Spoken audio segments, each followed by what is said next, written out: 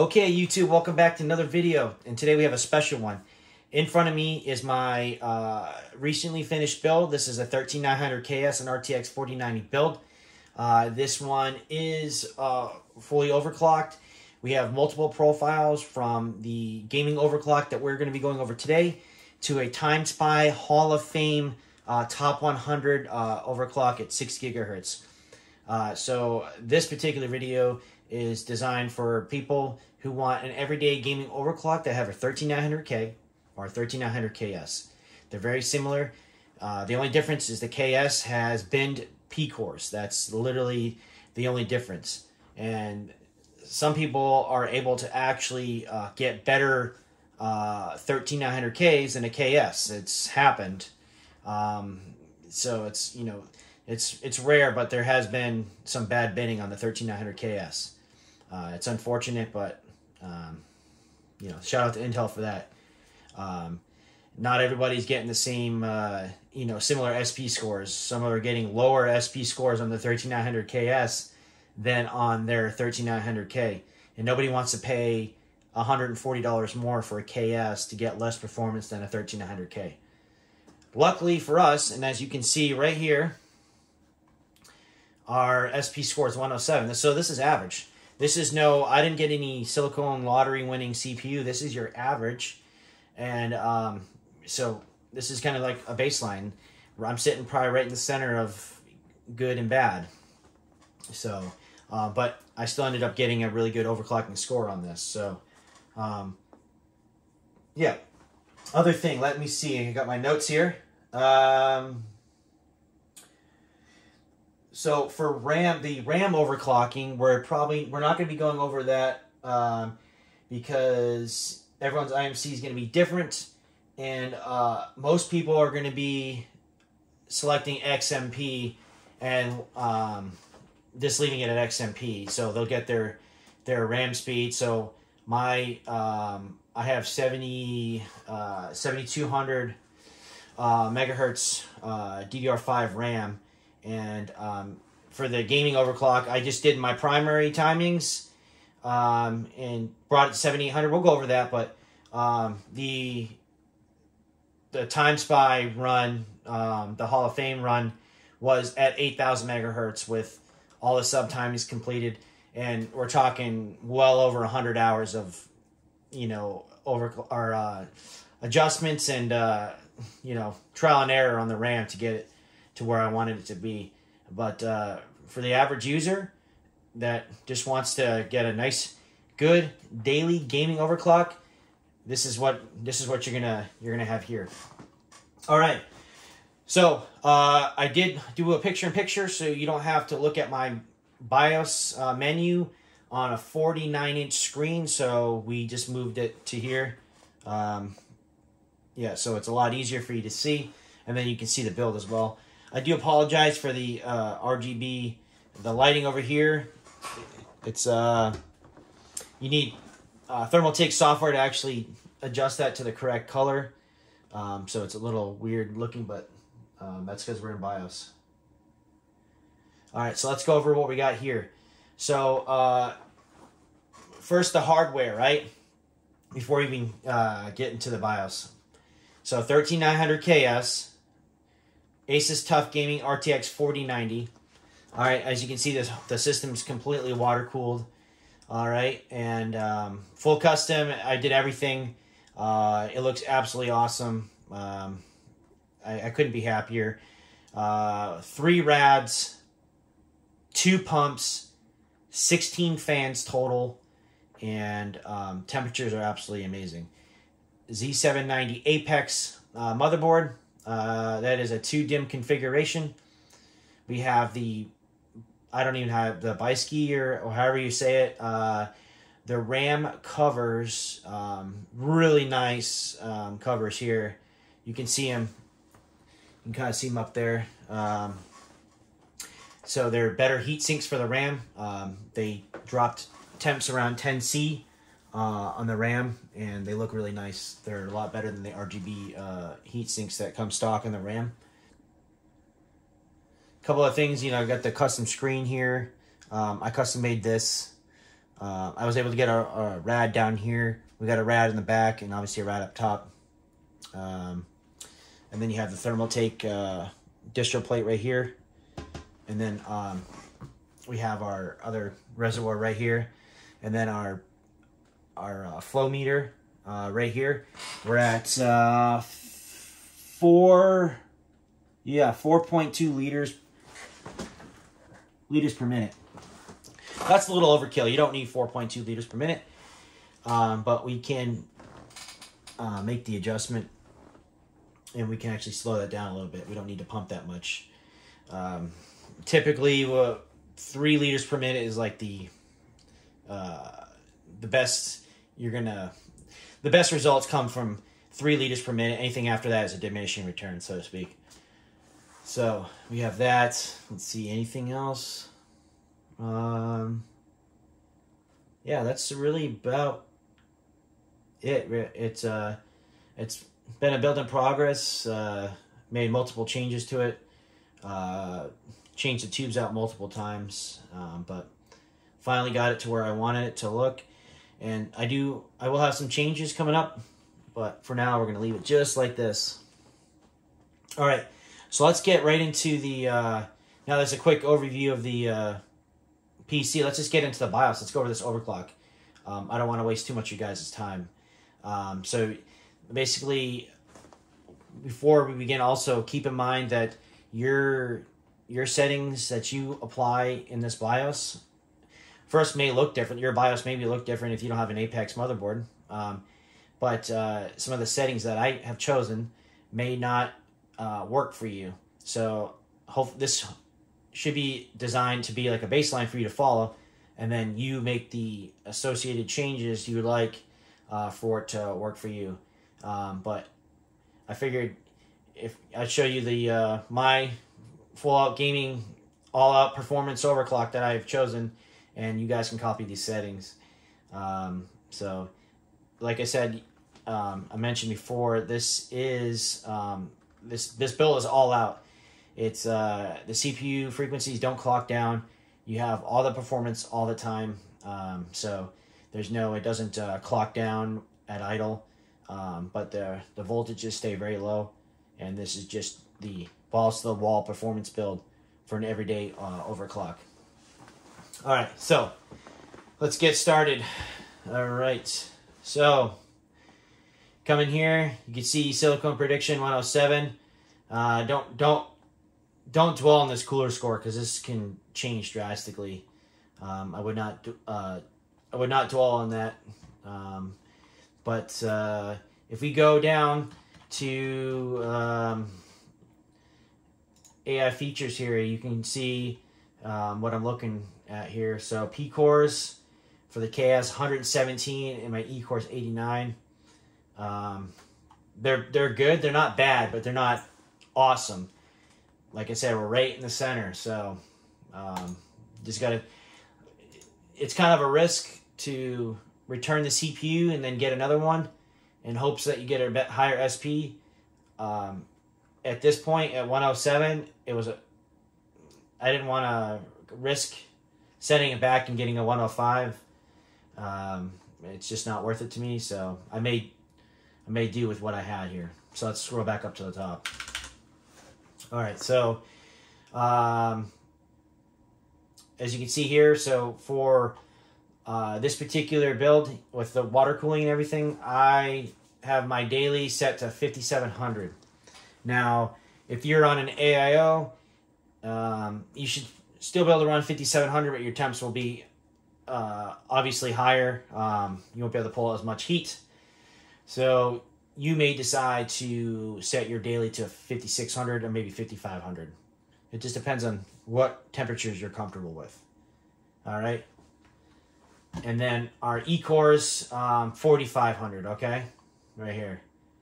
All right? I have my ram. This is just my daily ram speed 7800 um, and once again time only the uh, primary times are adjusted for this i didn't really put too much uh, time and effort into this it's just daily RAM speed.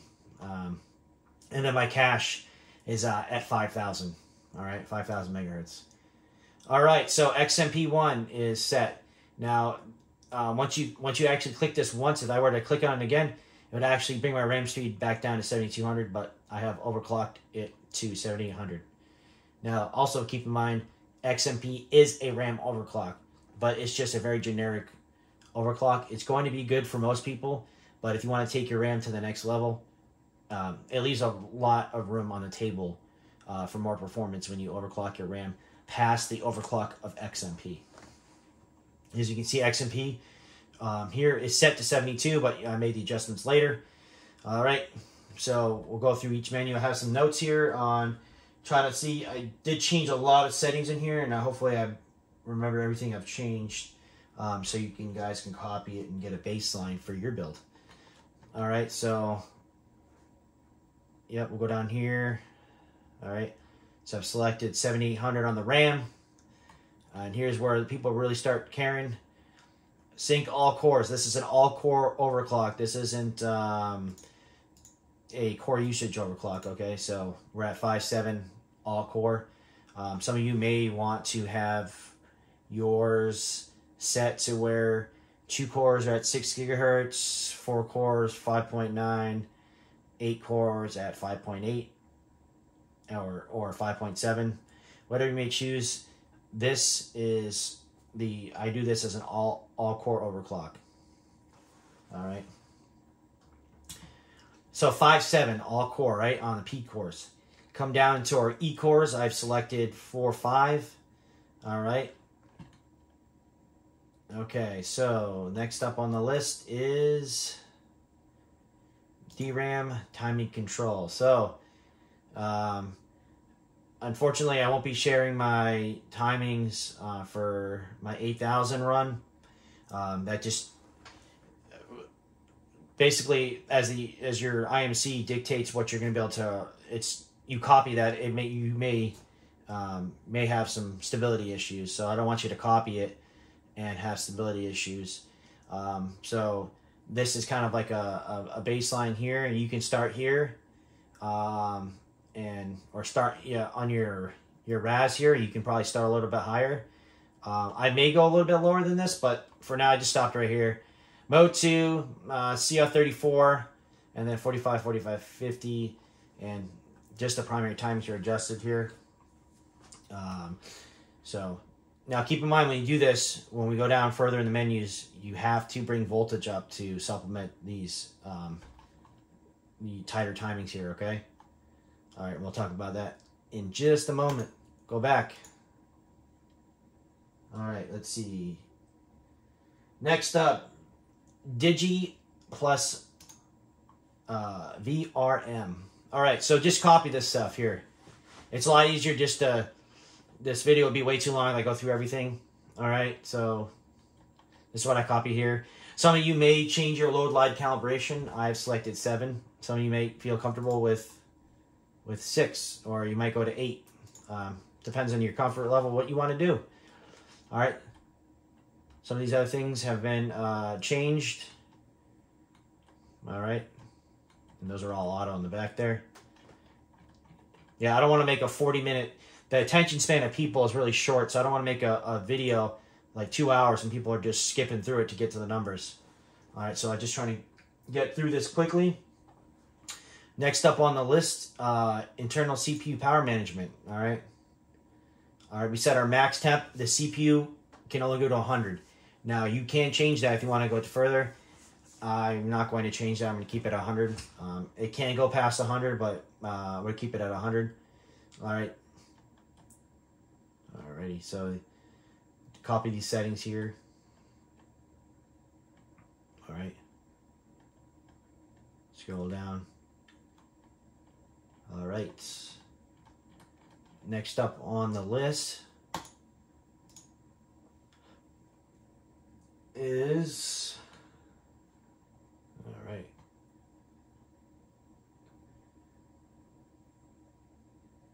Okay, so we have to come down here. All right, so ring down bin, auto. Our cache ratio, our for our daily here is 50. All right, base clock wear adaptive voltage, we have it disabled. All right, uh, voltage regulation module uh, core voltage, the actual, set that to manual mode. So right here, CP core voltage override, I have mine set to 1.260. That does not mean that you are going to be able to set yours to 1.260 at a 5.7 overclock, right? Um, there's many variables um, that have to do with that. Uh, temperature, um, silicone lottery prediction, uh, and other um, variables as well. So um, you start low and then you start working your way up until you get stable, okay? Um, so 1.26 is where I run my 5.7 daily overclock at, okay? So keep that in mind. Um, you could start there, and if you you know you have stability issues um, in one of your testing or you, or uh, whatever it may be, you can uh, come and raise this up a little bit, okay? All right, system agent voltage, right? Okay, manual mode, CPU, uh, system agent voltage override.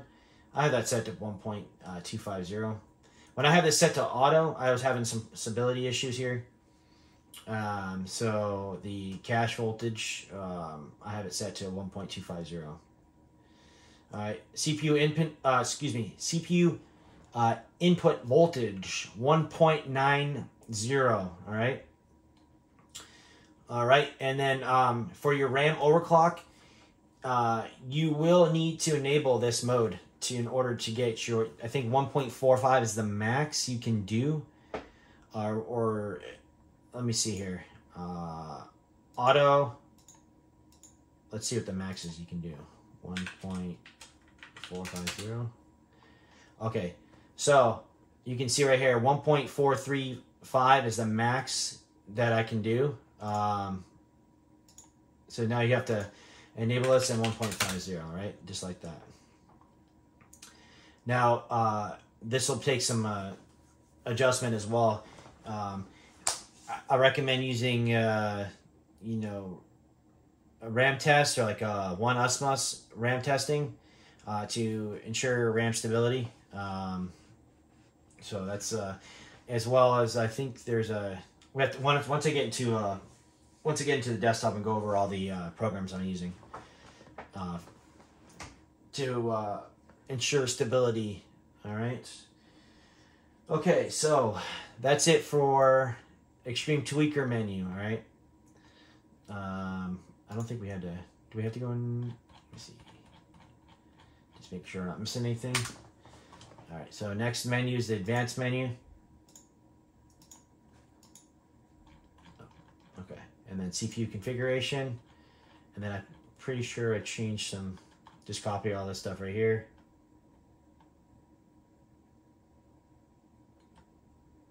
All right, and then in CPU power management control, uh, make sure uh, C states is disabled. Okay. All right. And that is that is it for uh, all the numbers there. So um, another thing I would like to do is after we finish here is go into the um, desktop and go over some of these programs uh, that we're using to um, determine full stability. And uh, this can be a, a, pain in the ass to uh, go through all this. So definitely have a lot of patience. Uh, keep in mind, best rule of thumb is to overclock the CPU first, and then you overclock the cache next, and then you uh, your RAM is last. So don't even when you're doing the CPU overclocking, don't even touch the RAM. Leave it in auto. Leave the the don't even touch the cache. Get the CPU stable and ensure stability through the programs, and then start working on the next one. Now, as you get all three uh, overclocked, they might affect something. Uh, your RAM speed might be affected by, or the overclock from the RAM might be affected by uh, core voltage uh, or something might be adjust, need to adjust. So it's just uh, a lot of trial and error uh, in that regard. So uh, let's let's get out of here. Oh, yeah, before I forget. Um, so in this menu here, you're gonna want to um, do a couple things. So USB drive, have it in there. You're gonna want to make sure you're saving um, these a couple documents here. You're, you want to save a CMO file, and then you want to um, also save the BIOS settings. Um, if you're gonna have multiple overclocks like I do, um, save them in here. That way you go to the BIOS and um, you can uh, select which one you want. So uh, for the all core uh, 5.9, I can still game on this one at 5.9, uh, no problem. Um, but it's really pulls a lot of wattage, um, a lot of power. So that's why we um, went with the daily here and brought the frequencies down just just slightly. Um, but this will go to six gigahertz, um, no problems at all, and I'll go over that. Uh, I'll go over that run uh, in the desktop as well. All right, guys, we're in the desktop now. Um, some of these programs weren't on my Windows uh, 10 uh, desktop, so I'm on my Windows 11 desktop. Um, so I wanted to go over um, how basically my overclock that I just showed you guys did with the all out settings that I selected. Um, and uh, the results are awesome. So uh, this was done at 6 gigahertz. As you can see on the left side here, um, I am uh, 66, uh, ranked 66 in the world in the Time Spy Hall of Fame. All right, so this is the Hall of Fame. There's Time Spy right there. You scroll down, down to number 66, that is me, uh, 13900KS. And you kind of get some basics. It says uh, Z790 Apex, that's the motherboard I have. And then you can go ahead and hit the detailed results. So let's go into detailed results, all right? Um, so uh, CPU score 29,814 and our graphics score 40,766. All right. Come down. Um, so I've had cooler temperatures before, um, but uh, this was done with the air conditioning on, but I couldn't get any colder than that. Uh, unfortunately, I um, I don't live in a snowy mountainous region where I can just uh, put my computer out in the snow and then um, get uh, legendary temperatures uh, like some do. Um, I'm in San Diego, so not the coolest uh, place in the world uh, temperature wise. So um, do what we can do, right?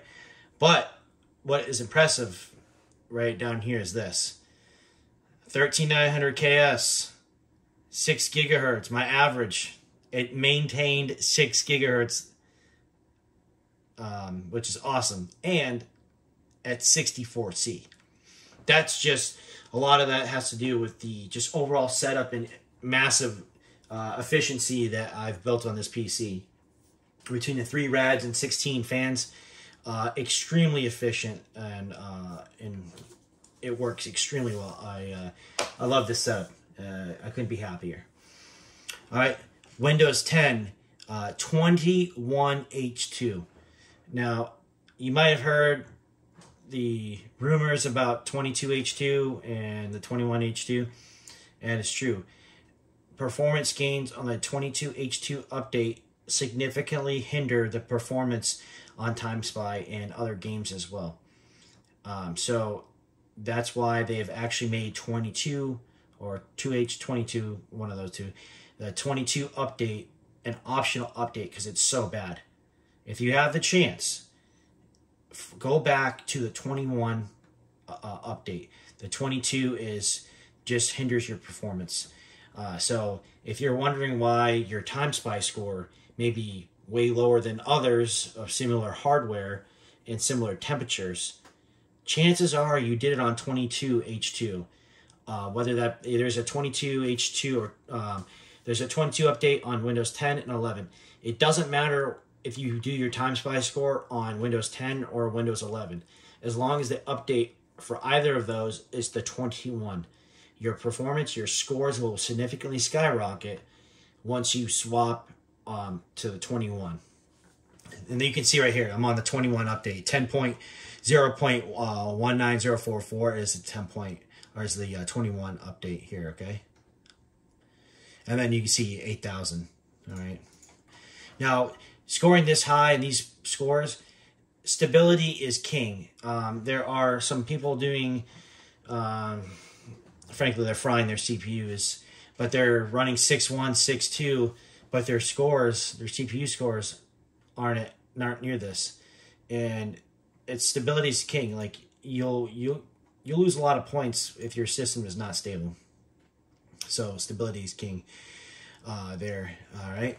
So that's the that's the good that's the run there. Um, extremely good, and uh, very happy with that being in the top 100 in the world. All right. And then um, one of my favorite programs that I like to use, um, I still haven't bought it yet, is uh, OCCT. You definitely want to get this. The program is free. Um, you can pay for the program and avoid having to wait every time you start an ad, like, for example, this right here.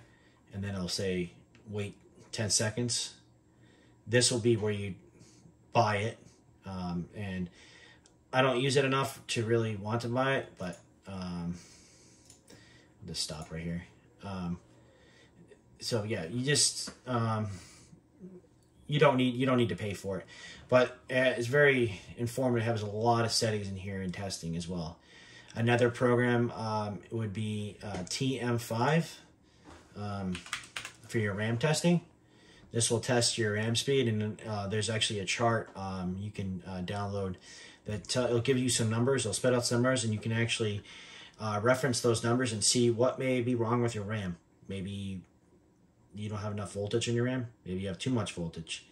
Maybe your you know your RAS or TRAS or whatever setting in your RAM might be uh, misadjusted.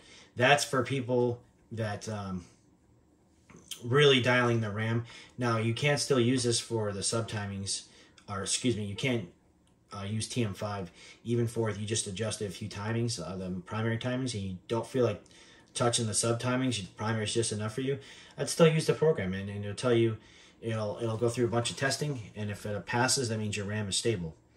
Um, now OCCT will um, will take into all account. Now, if you have your CPU and your cache is stable, but your RAM isn't, this could fail. So this is, um, I like this program because this, um, this and AIDA64, if it passes on both, your system is completely stable. Um, so it could pass on one program and fail on another. That means your system is not stable.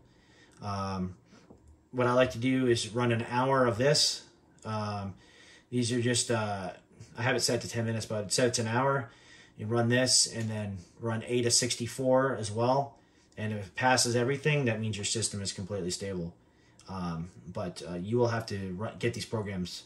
They're um, they're very important to have. Um, another one here I like to use Hardware Info 64. This one's awesome. This gives you all the parameters, everything uh, you, going on with your computer, CPU, GPU, RAM, temps, everything like that. So um, yeah, I definitely recommend getting this one. This one's the best program. It seems to be the most accurate as well. Um, so, and apparently you can highlight uh, certain parameters that you want to uh, um, keep an eye out for because when you open this up, you, know, you're if you're looking for, see RAM RAM temperature right here. If you're looking for this, but you're trying to you open it up and then you you kind of just get uh, a little screwed up, you don't know where it is, you can highlight it so you actually, your eyes will automatically snap uh, to where that um, parameter is that you're trying to look at. Um, so yeah, there's that. And yeah, I, I wanted to, I didn't want to have this video be an hour long. Um, I was basically wanted this to, for guys that um, have an Asus motherboard um, of some sort, and uh, have similar parameters in their BIOS they can follow. And uh, pretty much plug and play the numbers. You might have to adjust a few numbers here and there, but have a good um, steady overclock uh, instead of just picking uh, AIOC. Um, as an option. A- AIOC is good, uh, but I still don't like how much voltage it applies. There's still more room for improvement. So AIOC is definitely the best uh, one-click uh, overclock out there on any platform, but there's still room for improvement. And I'd say voltage. Uh, there's no reason to be sitting at 1.5 volts doing nothing. It's not going to hurt anything, but there's no reason to have 1.5 volts uh, light loading. Uh, there's just it doesn't make any sense to me. Um, so, uh, yeah, I think that's about it. Um, I think there's anything else to. Yeah, I don't think there's anything else. All right, guys, that's gonna uh, do it for today's video. Uh, please like, subscribe, and uh, post any comments or questions you may have down the bottom. I'll answer them um, as soon as I see them. All right, thanks for watching. Catch you in the next one.